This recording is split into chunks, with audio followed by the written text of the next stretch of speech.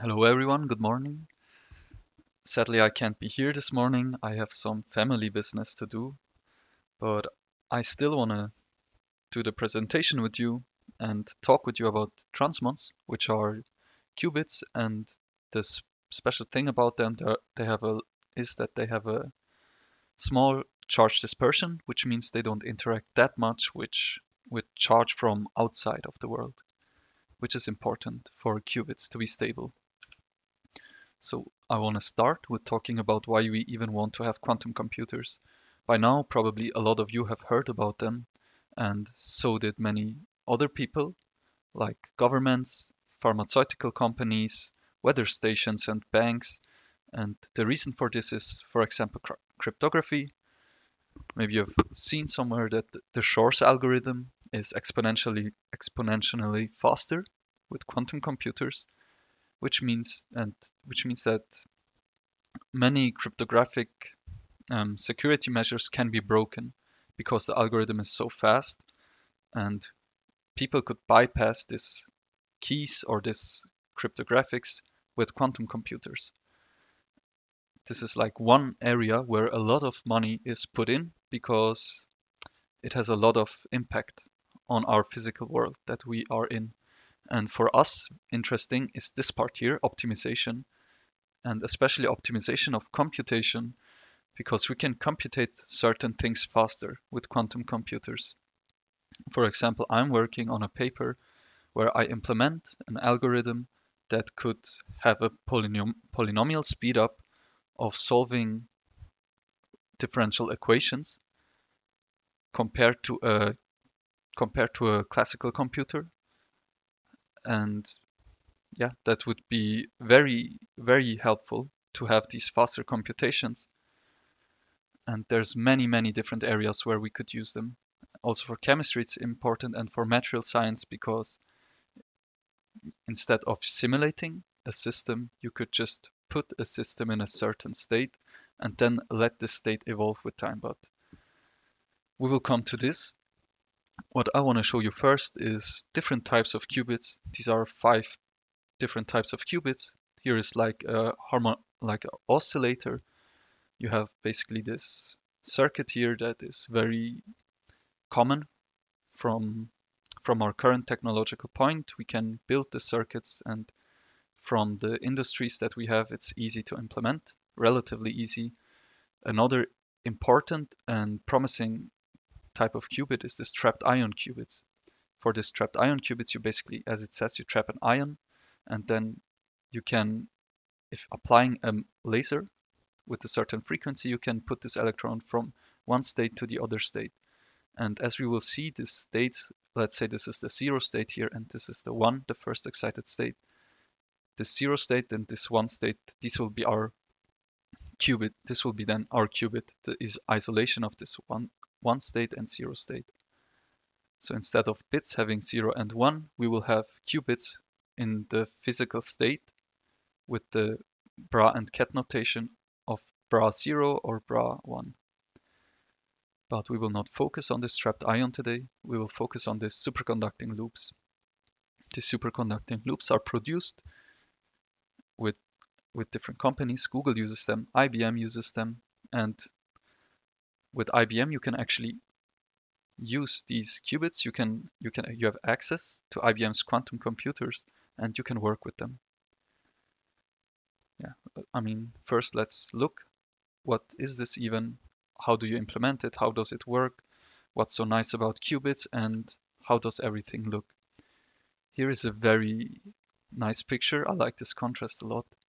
You have here a fridge and if I say a fridge, it really is a fridge. It cools cools it down gradually. From top, the top is hot, the bottom is cold. It goes from 4 Kelvin to 1 Kelvin to 100 millikelvin and to 15 millikelvin here. And here down here is the processor with the qubits.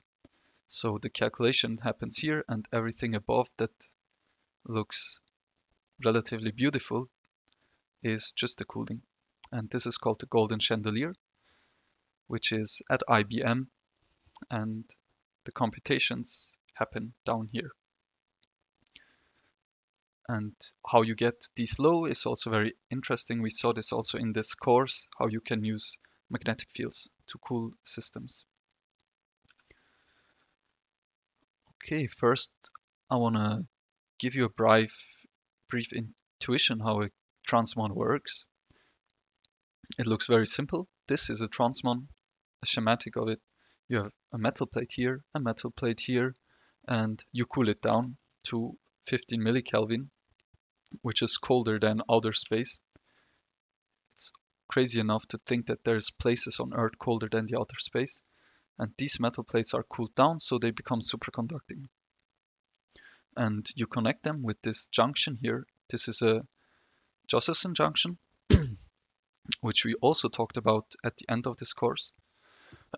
and this will be our nonlinear inductor, so it won't obey the Ohm's, Ohm's law, it will be nonlinear. And this metal plate and this junction, they are put on this dielectric. And we can symbolize this transmon by this circuit symbol. Here is the capacitor and here is the junction. So this purple part would be this yellow part here. And if we look at a physical picture, then here's a picture of it. This is 100 nanometer. So this is about the thickness of 150 nanometer and this would be the first metal plate, let's say this one. And here is the second metal plate, this one, and this yellow junction here would be here the part where they connect. Okay, so here is a page full of stuff and I would try to explain you why we want what we want from a transmon. We all have seen this picture from quantum mechanics. It has the energy states, the first ground state, then the first excited state, and we know that this is unharmonic. Okay, so to get from the zero state to the one state, you need this energy, and to get from the one state to the two state, you need less energy. so if you would apply this energy from to go from the zero state to the one state, and then apply it again, you would go up here, and here is no, there's no state to enter here. So what you can, what you essentially do is, with this, if you apply certain energy, you get up here. If you apply it again, you go, you go nowhere. So you can isolate this 0 and 1 state with this. If you compare it to the harmonic oscillator here, okay, this is a diagram of a harmonic oscillator and how it works is on the right side, but for now let's look at this graphics here. If you would apply the same energy frequency here with the photon, then you would go from the ground state to the first excited state and to go from the first excited state to the second excited state, you would apply the same frequency or the, the same photon with the same energy. So in contrast to this, where you have different energy levels with the different gap size here, you have for the harmonic oscillator, you have the similar gap sizes. And what this means is if you have here the ground state, the first excited state, the second excited state, then applying a photon here twice will lead you to the second excited state. And that's not something we want to have for a bit or for a qubit, because then you can't isolate these two states, the zero state and the one state. And we want to isolate them because we want them to be distinguishable. So our goal would be to have something like on the left, in a sense to make a, to kind of construct this anharmonicity that we see in the quantum world. So we want to change this harmonic oscillator. and here is a picture how the harmonic oscillator works for those who are interested. I'll not go through it, but you see the here is the capacitor which is fully charged. Then the current goes through it. It produces a magnetic field. On the right side, you have the analogy with the mass on a spring. And I just put this diagram here because it's very pleasing to see. and maybe you can, if you want, you can have a look and compare them. Okay, so what we want from a transmon or from a qubit is to distinguish this one state and the zero state. And we do this by introducing here a nonlinearity. So instead of having this harmonic oscillator, we would want to have here, you see there's an arrow, and this arrow basically implements this purple Josephson junction. So we re replace this inductor here in the harmonic oscillator case with the Josephson junction, which is a non-linear inductor. And this Josephson junction allows us then to produce an energy spectrum that looks like this. And as you can see here, we have something pretty, pretty similar to the to the atom here. The energy levels, they are again, they have different energy levels, but the spacing between between them is not constant anymore. And this is very good because now we can have the ground state here, the first excited state here, and as it's indicated, if you apply a photon with this frequent with a certain frequency that puts you from the zero state to the one state, and you do that twice, you jump from here to up here, where there is no state. So we can distinguish the one state and the zero state. Okay, so what we I found this pretty interesting. This is almost as if we made an artificial atom or an artificial like quantum state 0 and quantum state 1.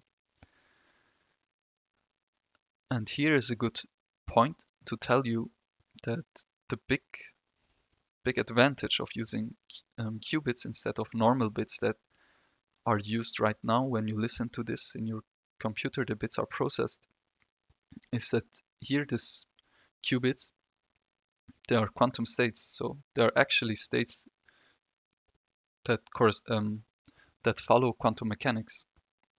And that means there can be superposition and all the all the wonders of quantum mechanics are inside of this qubit. And that's where the power comes from the qubits because these superpositions and these effects of quantum mechanics they can if people can find algorithms to exploit these phenomena of the quantum world then we can um, we can make algorithms way more efficient and we can speed things up by a lot. And not only that, we can construct states. Let's say you want to model a molecule, then you can create that molecule. You can actually create the physical state here of that molecule. And then you have a state of it and you let it just evolute. You just apply a time evolution so the state um, changes and you see, okay, what happens with the state. At the end, what you do is you just have the state, you let it live so that it propagates with time. And at the end you measure and you see what happened to this state. Instead of classically you would simulate this. But with the qubit you don't have to simulate it, you just have to put the qubit in that state and let it let the time evolution happen and see at the end what's the outcome. So here with the qubits we can exploit and work with quantum mechanical effects.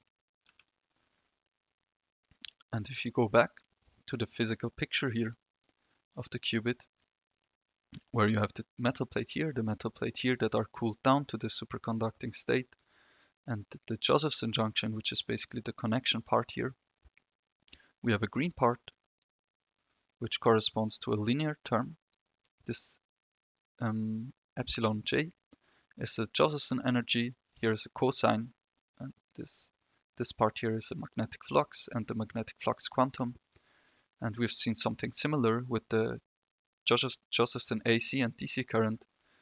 And here it's just for the energy instead of for the current. And we can split this cosine up to get a linear term and a nonlinear term.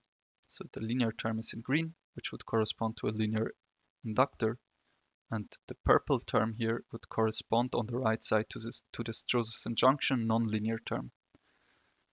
So that would be the part that produces this unharmonicity that we want to have to isolate these two states. So we know now that we can implement or we can have this unharmonicity and now we want to implement it. And that's a whole different story to go from theory to the physical part. And this formula, you can ignore all these formulas. Here is just another picture of the transmon of the qubit. What's interesting is that the Josephson energy is written here again, and it's also in this diagram, it's this cosine shaped and gray shaded area. And here we have a first order approximation of this energy, just the first order approximation of the cosine. And that approximation would correspond to this purple dash line. Okay, and what, if we look at this, we see that down here, the approximation is very good, very good. And on this horizontal axis, it's the reduced magnetic flux. So basically it's the magnetic flux um, normalized. And we see when the magnetic flux is very small, then in this regime, the first order approximation is almost the same as the actual Josephson energy. So we want to we want to exploit this fact and we want to work down here. So we want to have very small magnetic flux so that we can operate the qubit in this regime here, where the first order approximation is almost the same as the total, total Josephson energy. And maybe for the ones who are interested, here is the harmonic oscillator part, and here is the nonlinear part, which is which comes from the Josephson junction, and the, this phi here is the zero point fluctuation. It comes from the zero point fluctuation. So we want to be down here in this regime for the qubit. And here are some parameters. These slides are from Zlatko Minev's Qiskit tutorial, which you can find on YouTube. I just use them and if you want to find out more about these, you can just go here and see. Um, here they put some parameters for LJ and CJ, which is 65 um, femtofarad, and they plotted here the result. If we, we only are interested in this diagram here, and here you see that the energy or the frequency you have to put in to go from the ground state to the first excited state is 5 gigahertz. And then to go from the first excited state to the second excited state, you need 0.3 gigahertz less than you needed before.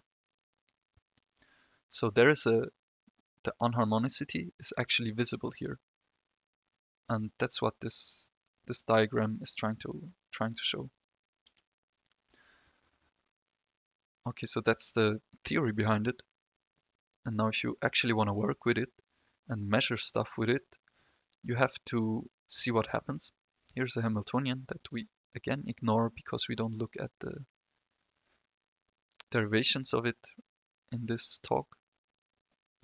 What I want to emphasize here is that you can have the qubit here with the junction, with the Josephson junction, and you couple it to your source. This can be any source, you just want to put some current through this. For us it will be photons. So you couple it here is a capacitor that just, if you connect to two wires, you automatically have, have a capacitor here. So what you do is you bring a laser here in. So you shoot a photon, which should reach the qubit. And you can shoot a photon, you can produce a photon, which is a pulse with a certain time length. So you make a produce a photon that you want to have acting on the qubit and you can adjust the time length of this photon. And that's important. So it's time dependent and the photon will also have a phase.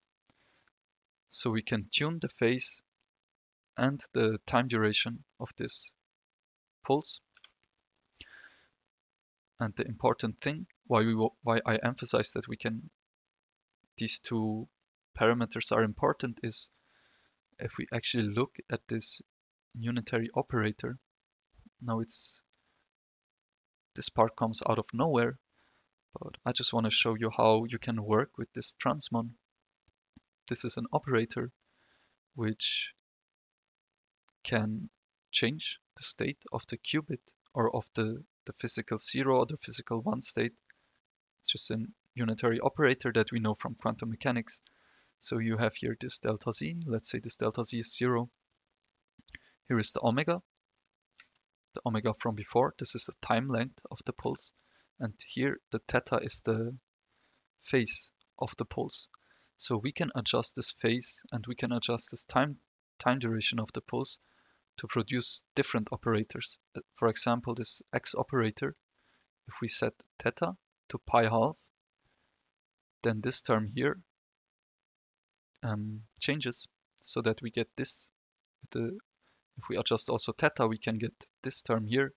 So this x operator would correspond to a rotation about around the x-axis. And in a similar way, we can adjust the theta and also the time duration to act on the qubit with this operator, which would correspond to a rotation about the y-axis. So by adjusting the phase and the time duration of this photon, we can implement different operations. We can rotate it around the around any axis that we want. And from these rotations around the axis, we can com combine these rotations and implement different gates. These are called gates, which are just operate just operators on the quantum state. So we can implement x, y, z, and this is called the Hadamard operator, which imposes superposition. Okay, so this is all still a theoretic. In the real world, you don't have a nicely shaped pulse. You have you can have noise, and you do have noise, and we want to reduce this noise. So we can interact with this qubit, but nature can interact with it too. So everything that comes in here changes the state. And also the state is, if it's in a certain state, energy leaks out of the state. So it becomes decoherent and that's characterized by this time t2. So we want the state to be as coherent as possible and for as long as possible and we want to reduce this noise. And here is a graphic from 2013 where it shows the qubit lifetime for the coherence time over the past few years and we see an exponential growth of the qubit lifetime so people are working hard and also with good results on this to increase this qubit lifetime and what this cavity is I can show it to you here so to reduce the charge noise or to reduce the noise from the environment and increase the coherence time, we can, instead of just having the qubit here, we can couple the qubit to a classical harmonic oscillator here. So what this does is now we have, instead of just having this, we have the qubit coupled to this. And here we see, here I can explain you what this does. So this is what we are looking at now. You can put in a signal and if you put in a signal, the signal goes through and it gets reflected and comes back. And since the harmonic oscillator and the qubit here are coupled together, the state of the harmonic oscillator will harmonic oscillator will harmonic oscillator will depend on the qubit state. If the qubit is in the state 0 or if it's in the qubit, qubit is in the state 1. Let's say the qubit, the qubit here is in the state 0. Then the resonance frequency of this harmonic oscillator will be different than it will be in than if it if the qubit was in the state 1. Okay, I said that very complicatedly, but this graph shows it very clearly. If the qubit is in the state 0, then here the resonance frequency is at the peak, here at this frequency. So if you put in a signal and measure different frequencies and you see, okay, at this frequency, you have a very big response, then you know with certain probability that the qubit is in the state zero. And if you measure this frequency, then you know, okay, the qubit is very likely in the state one. And this cavity here, or this harmonic oscillator, essentially reduces the charge noise. Instead of the energy just going through this and leaving, it has to go through this and then here is the harmonic oscillator, which acts like a damping to noise to protect the qubit from charge noise And in the same way, instead of energy leaking out of the qubit, also energy coming in in the form of noise, this harmonic oscillator oscillator will protect the qubit from it.